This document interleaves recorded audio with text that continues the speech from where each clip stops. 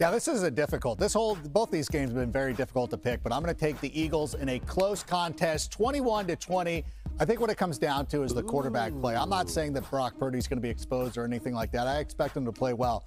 But I think this Eagles team has been somehow still overlooked because they were so good for such a long time. Had a couple of missteps when Gardner Minshew was in there, but now that now that Jalen's back and ready to go, I just don't think they'll be stopped. Okay. I'm not looking at Brock Purdy to make any mistakes. What I'm really looking at is the Philadelphia Eagles. There are times their secondary, for every 10 great plays, they have about two or three plays that are mistakes. And I believe those mistakes will cost them. So I have the 49ers 21, uh, 24 21 upset. And I need brighter lights. More, more, more, more light. I'm with you. Uh, Steve, Steve is on point. Uh, something about the Niners that I just feel like they have the upper hand in this matchup. And it's going to take Nick Bosa having a monster day, but Kyle Shanahan has to be in his bag for this to uh, come to fruition. So let's go with the Niners 24 to 20. Mm. Yeah. Um, wow, by one point, you guys. Come on. Yeah. Come on, MJ. I told you I've lost sleep over this. It's. Come on. Come on. Such a tough matchup, such a close matchup. So you know what I did? I phoned a friend. Oh. ¿Quién va para el Super Bowl? Stat in real time. I can't pick. I don't know. Yo creo que los Bengals de parte de la AFC, pero no sé for NFC. So give me the two teams: Bengals and and Eagles. it's my dad's pick. Okay, thanks, Dad. My dad now in retirement. He has plenty of time to help out his firstborn, dare I say, favorite child. Am I taking the easy way out? Maybe. A little bit. But my dad and I, we talk ball all the time, constantly. So I said, let me just pick up the phone and call this man. Let him pick. So hmm. Papi's pick, Eagles. I'm going to pick up where he left off. I'll give you the score 24 to 21. We also asked you guys at home. Ooh. Okay, Niner gang, I see y'all. 64% bang. of you folks. Take a picture of that and send it to Pop. Sending my, yeah, yeah. send it to my dad. He's watching. He knows. He knows what's coming. 64% of you are going with the 49ers in an upset. Ooh, this is going to oh, be boy. such a good game. I'm still nervous. You know, we have really good really good players that we're about to go against, so it'll be a challenge. Nah, I'd be lying if I said, you know, I, I, I'd never been nervous before games. That's just like part of, you know, the the feeling of playing football, man. Like, man, like we're about to go and, and play this sport, and it's a violent sport, and you got to be a warrior in what you do. So there's definitely, you know, that that pregame feeling. But as the game goes, man, it's it's like it's fun. You know, you you enjoy it. Mm-hmm. Got a three-point stance, fellas. Steve, I would love for you to give me hmm. three points yes. that would seal up a victory for the 49ers over the Eagles. Well, let me pat myself on the back a little bit. I want to hit you, hit you with my elbow as I do it. But I actually starting to like this uh, three-point yeah? stance a little bit. So let me get right yes. into it. Well, the three-point stance, first of all, you're going to have to give a lot of variations to Jalen Hurts. You got to understand, when you go to Costco and you get that variety pack of chips, oh, you got to yeah. do that same thing with the secondary. You just can't eat the Funyuns. I like the Funyuns. Ooh, They're so good. Like you like Funyuns. Look. Funyuns in a Mountain Dew. Ooh, because of that, you got to. But then second, you know that's this guy named Michael Vick. Well, Jalen Hurts has the escapability as Michael Vick, too. So you have to have a spy on Jalen Hurts because he's just as dangerous in the pocket, but he's even more dangerous with his legs as well. And then finally, the third is you got to make the Eagles drive the length of the field. Listen to this, Bucky. Did you know? Did you know that the 49ers, their offense, the opposing offense, the longest time of possession 2 minutes and 37 seconds. Oh, yeah. However, the Eagles, in their 11 drives that, that have lasted longer than seven minutes, is equal into eight touchdowns. So you know what you got? You have two heavyweight fighters. Mm-hmm. One's never went past the third round, and the other one, they've never gone past the eighth or ninth round. So something's going to break and something's going to do something that they've never done before. Right. Yeah, and we get the opportunity. You see it when? 3 o'clock, we get to figure out which heavyweight fight goes down. Is it in the fourth round, fifth round, or eighth right. round? Or does it go 12 full rounds? It's going the I'm distance. excited. It's going the distance for sure. Ooh. We heard Brock Purdy just a minute ago talk about the nerves before a game. That's mm -hmm. normal. Something that would probably calm his nerves, knowing the fact that Kyle Shanahan is the one calm the plays. One of the most creative playmakers we've seen in the National Football League. How much do you trust that, though, Bucky? Do you think that gives the Niners an upper hand here? Oh, absolutely, because he's one of the best play callers in football. And what you're going to see is Kyle Shanahan loves to do it deception and misdirection. And when you think about what they want to show, I mean, the X and O is going to break it down for him. It makes it very, very simple for him. You know, we look at it here. So we talk about deception and misdirection. So here we go. Deebo Samuel, who was a punt returner at South Carolina. You put the ball in his hands, and so now you have a running back. You got, look, a little convoy out there. Little convoy, get up the field, get going. I've seen my man 89 do that on occasion during his time at Carolina. You take it, you put it in the paint. So we got the reverse. So the other way, you do deception and misdirection. Bootleg. So we got run play going to the left, roll it back out to the right. We have a crosser, and then we got the big boy post. So safety jumps the crosser. My man is turning around, spinning tops. Big play bootleg action. Kyle Shanahan's going to dial this up a few different ways. And then it's about misdirection, bubble screens, moving people around. Oh, that's Christian McCaffrey up at the top. Get it to him quick. This is an extension of their running game. The San Francisco 49ers have a collection of hybrid playmakers, a bunch of chameleons that can do a bunch of different things. And then Kyle Shanahan just moves and plays the shell game mm -hmm. to create opportunities, big play opportunities for his playmakers. Now, the 49ers have reached the conference championship league. Um, but one person who is not at all concerned about dealing with the Philly fans, Deebo Samuel. We know it's to be loud, uh, you know, um, but no stadium is as loud as ours. But at, at, the end of the day, you know, they're at home, NFC Championship. They're to be all riled up, and you know, it don't it don't really too much. We don't really too too much feed into all that. You know, we put the pads on and just go to work. Good mentality there. Our Championship Sunday host sites have some interesting facts attached to them. When you talk about atmosphere, Arrowhead Stadium is the third oldest home stadium in the NFL. Reached a Guinness World Record of 142.2 decibels back in 2014 against the Raiders. As for the Linc, 8 and 1 home record at the Linc this season, including playoffs. It also has a four-hour fan code of conduct course that it requires fans who have been evicted from the stadium to complete before re-entry. You guys know all about playing under hostile environments. what? What did you do? What did you say? I, what is happening? Call it again. MJ, what was that? I can't hear. Call it back in. Okay, well, I'm sorry. I don't know. Uh, Steve, you know what? You played in and won an NFC championship in Philadelphia. Is the crowd is raucous? Raucous? Raucous. Raucous is advertised. They are. Uh, you know, Philly fans will also turn on themselves too. they will turn on their team. They will boo you as the opposing team. But if the opposing team uh, starts to show that games are looking different and it's not the outcome that they're expecting, they will start to turn on their team.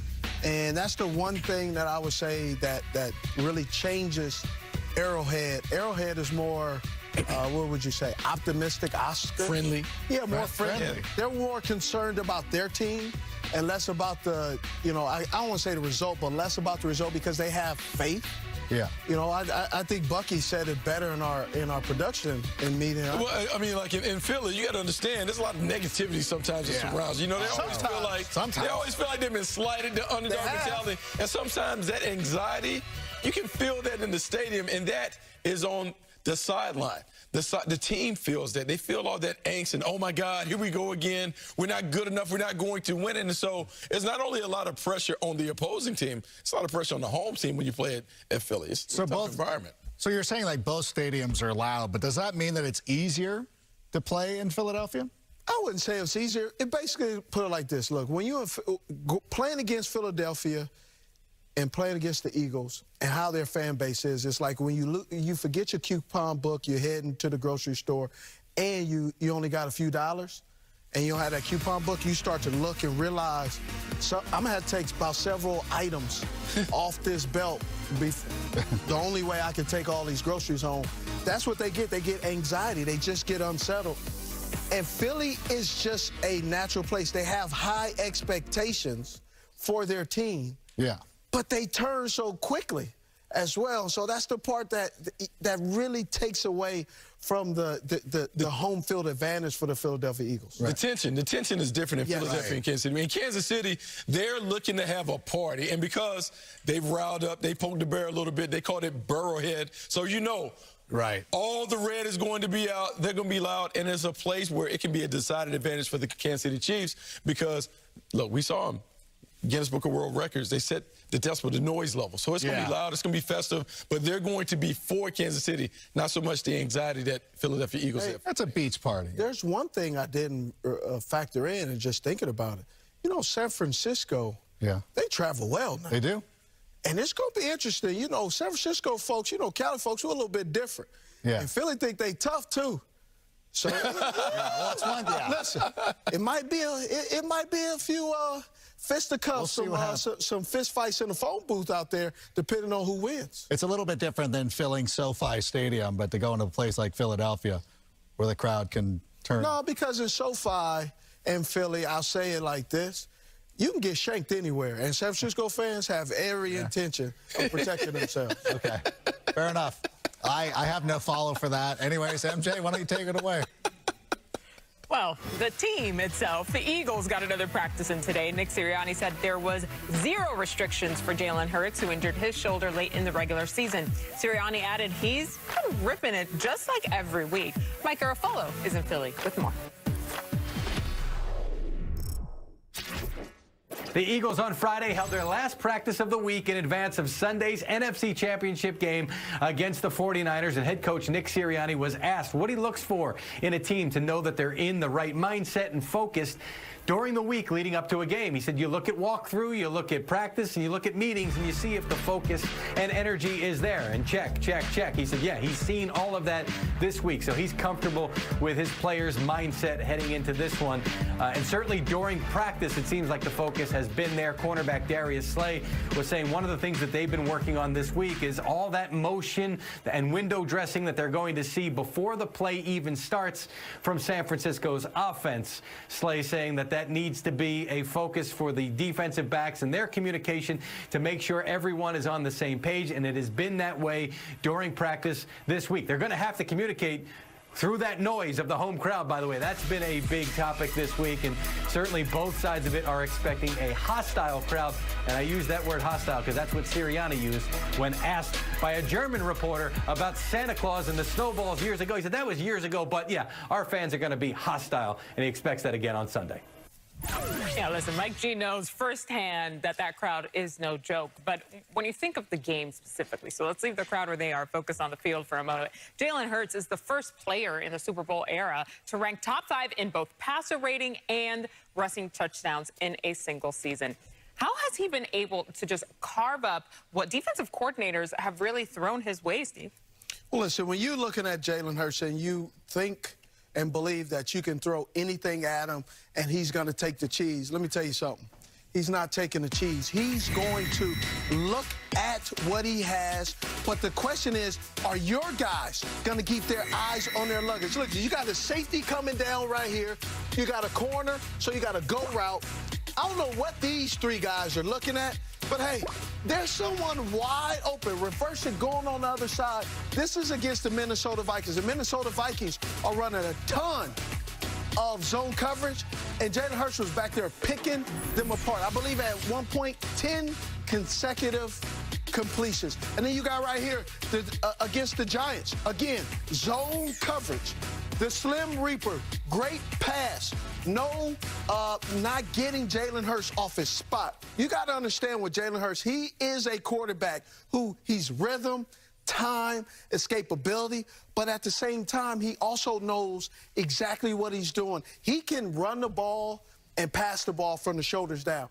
But what he's really developed since college, now in the pros, he's developed from the shoulders up, and that's what makes him so dangerous. He is a very dangerous playmaker. The 49ers run zone more than anybody else. Let's see if they change that up, though, because you need to play man coverage to stop a, a mobile quarterback like that. I would expect the unexpected this weekend, but you can always expect here on Total Access on Fridays, game picks. Let's get to it. I have lost sleep over this one, so Rank, I'm starting with you. Who you got? Yeah, this is a difficult. This whole both these games have been very difficult to pick, but I'm going to take the Eagles in a close contest, 21 to 20. I think what it comes down to is the quarterback play. I'm not saying that Brock Purdy's going to be exposed or anything like that. I expect him to play well. But I think this Eagles team has been somehow still overlooked because they were so good for such a long time. Had a couple of missteps when Gardner Minshew was in there, but now that now that Jalen's back and ready to go, I just don't think it'll be stopped. Okay. I'm not looking at Brock Purdy to make any mistakes. What I'm really looking at is the Philadelphia Eagles. Their times their secondary, and for every 10 great plays, they have about two or three plays that are mistakes. And I believe those mistakes will cost them. So I have the 49ers 21, uh, 24-21 upset. And I need brighter lights. More, more. more! More light. I'm with. Uh, Steve, Steve is on point. Uh, something about the Niners that I just feel like they have the upper hand in this matchup, and it's going to take Nick Bosa having a monster day, but Kyle Shanahan has to be in his bag for this to uh, come to fruition. So let's go with the Niners, 24 to 20. Yeah. Um, wow, by one point, you guys. Come on. Yeah. Come on, MJ. I told you I've lost sleep over this. It's, it's come on, come on. Such a tough matchup, such a close matchup. So you know what I did? I phoned a friend. Oh. ¿Quién va para el Super Bowl? Dad, in real time. I can't pick. I don't know. Yo creo que los Bengals de parte de la AFC, pero no sé for NFC. So give me the two teams. Bengals and and Eagles. it's my dad's pick. Okay, thanks, Dad.